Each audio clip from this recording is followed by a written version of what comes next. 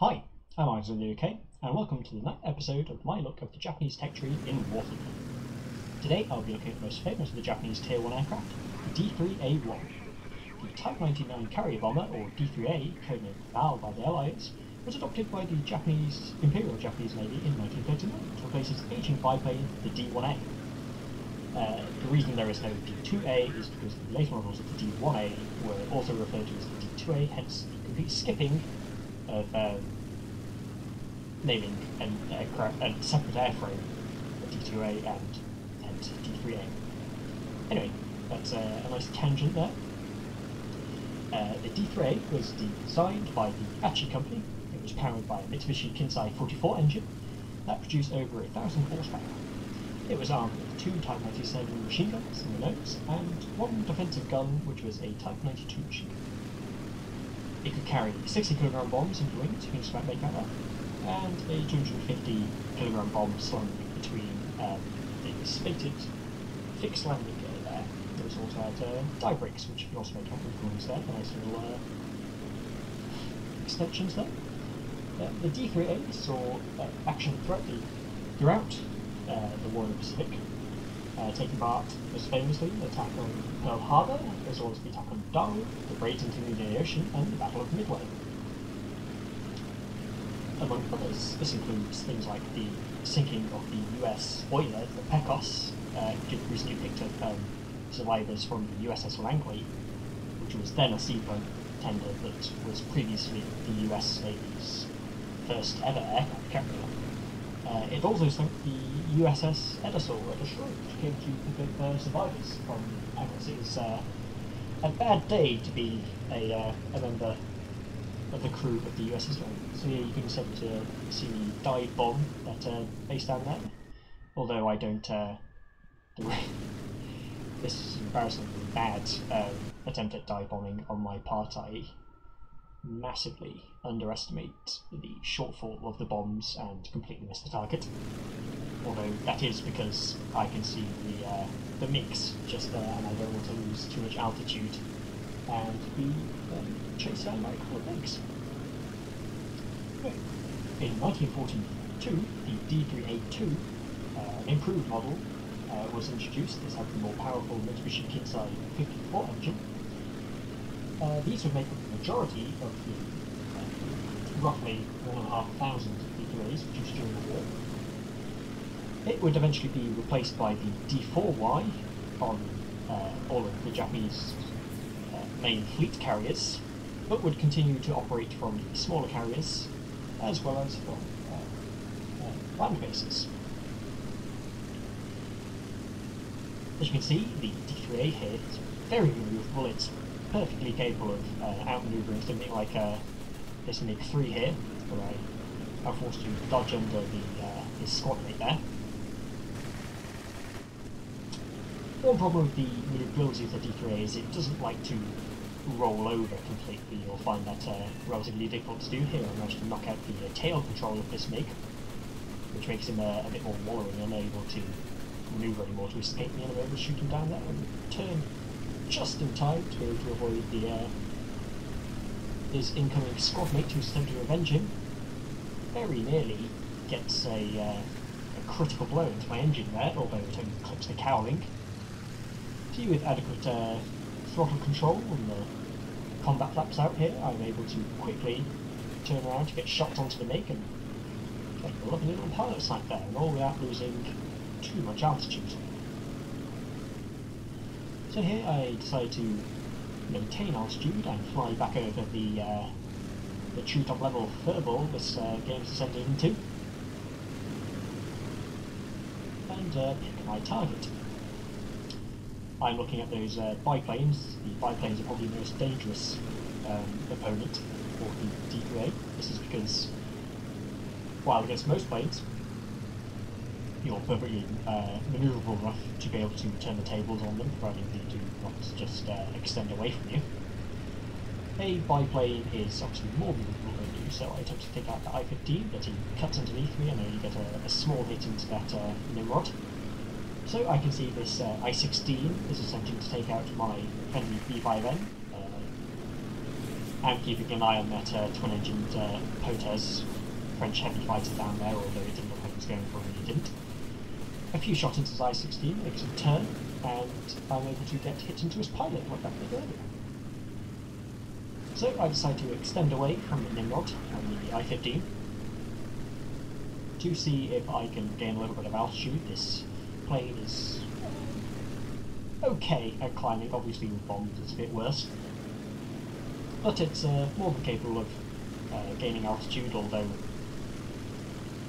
you know you're you're doing about 250 kilometers an hour on a climb, which isn't great, but hey, it's uh, it's an overall plane, it's adequate enough. So yeah, I decided I'm going to engage I-15 after the Nimrod's taken out, but that, uh, that BF-109 we'll be seeing uh, a bit later uh, drops out of the sky to take him out. So I decided to show off the qualities of the D3A as a ground strike aircraft after my terrible um, dive bombing earlier. There will be a clip later showing you what a somewhat better uh, attempt at a dive bomb should look like. So I decided to go after all these nice squishy vehicles uh, travelling across the map. The D3A makes a nice uh, ground strike vehicle because it's very capable of controlling its speed and it's a nice stable flying platform as well. So you can throttle right back, extend your air brakes if you need to drop a little bit of speed and open your combat flaps to give you a really low stall speed, which gives you a lot of time on target for taking out um, enemy ground vehicles like this. Although, as you will see, I don't attempt to shoot all of the ground targets in a row because situational awareness is one of the most important things around going ground striking to avoid flying into uh, trees or striking your wing on the ground in a turn, which, yeah, I never do. um, so yeah, just making lots of uh, passes against this column of enemy planes, and there's some uh, nice warphonology coming up. You'll see these uh, vehicles crossing the bridge aren't actually using the road at all, they are in fact using the girders along the top of the bridge. Why not?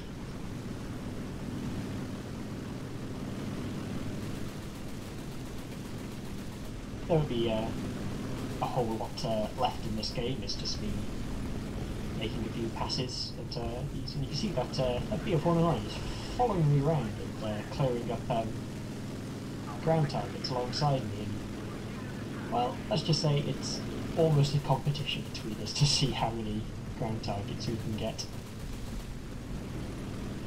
So I take out these barrels and turn around to take out this last vehicle. So although I do see the, uh, the P-36 going in there, so I, uh, I wave off and call for help because well, I can probably outmaneuver a P-36 I am at low altitude and at pretty low speed, although it turns out I don't need to worry because that uh, the F-109 is paying attention and uh, quickly took him out. So, back to ground striking.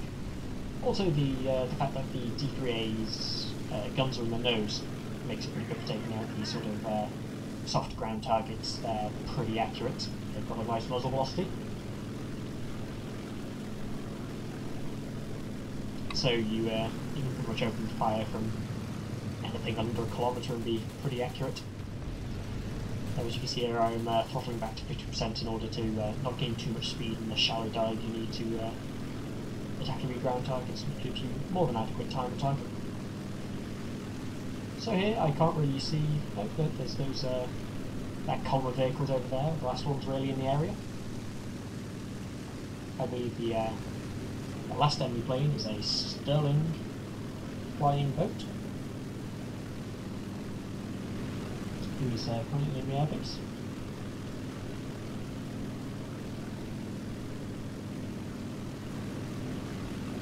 D3A really is a nice plane to fly. Um, well, probably like maneuverable planes and don't care that you're not really going to get anywhere uh, particularly fast, although as you can see in the shallow dive, we are picking up a fair amount of speed, although you do bleed it pretty rapidly in the turns, you can see.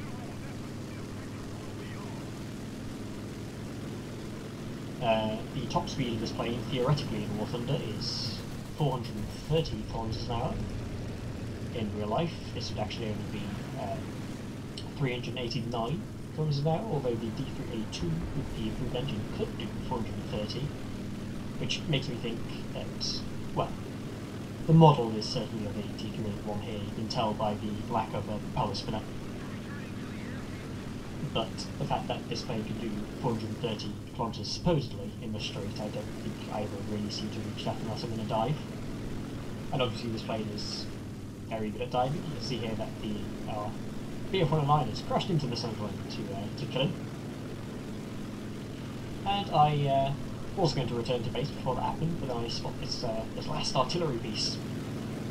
As you see, there's actually someone trying to shoot over my shoulder and hit him, although I do beat him to the kill, and it's our friend in the BF-109 from earlier, who is not pleased I took his last uh, his last ground target kill and uh, tries to take me out. But, uh, oh well, he didn't shoot me down, no harm done.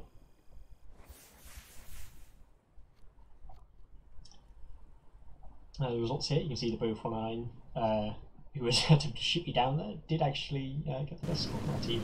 Got one more ground kill than me. So here I've uh, put a little clip in of um, a ground forces game, which I think adequately demonstrates the dive, dive bombing capabilities of the D3A. Another thing that makes the D3A uh, good to take into um, I've got the, uh, the game mode now. Ground forces, there we go. Into ground forces, the fact that after you drop your bombs, which um, as I said, you probably want to be dropping the them all together, both the 60s and the 250 kilogram bomb, or drop the 60 kilogram bombs early and save the 250 kilogram for your strikes. You generally can't get enough altitude back up to um, do an adequate second dive bomb with the 250 since the 60 kilogram shot first. You, you can see I'm tracking uh, a target going down the road from B. You can just see him over my left wing going down the street. and then turn it, walk all the way back, air brakes out, point straight at him, then point quite a bit behind him to give adequate lead, drop all my bombs together, retract the air brake, throttle up again to gain altitude and see a decently accurate bomb pair. Not perfect, but more than adequate enough to take out uh, most vehicles at this sort of tier. As I was saying earlier, before I was interrupted by myself attempting to dive bomb, the reason the D3A is particularly good to take into uh, ground forces is that after you drop your bombs, you're more than capable of loitering around the battlefield to act as an anti-close um, air support plane, uh, being really able to take out most of this sort of enemy um, ground strike aircraft, which you will come across, such as um, I'll eventually spot him. There, that BB-1 over there. You're more than uh, capable of dogfighting with like a BB-1, especially if you can get him to manoeuvre so you can't adequately use his, uh, his radar. BB-1. I don't think this BB-1 has actually seen me um, as I'm actually able to... He doesn't react until I actually start shooting at him. Um, you see putting shots across him and getting a, a hit on him quickly makes him manoeuvre, which is probably the worst thing he could have done because he's not going to outmaneuver a D3A1. And I quickly managed to get uh, more shots in on him, and he can't shake me. Nice critical hit into him there, and uh, he lost tail control, and I killed his pilot. Actually cut away here because the rest of the battle is just me loitering around and then getting shot down by an enemy plane. Uh, we obviously lose this battle, we don't do amazingly well. Uh, this has been the D3A1 battle. I've been Alexander BMK. I'd like to thank everyone for watching. Goodbye.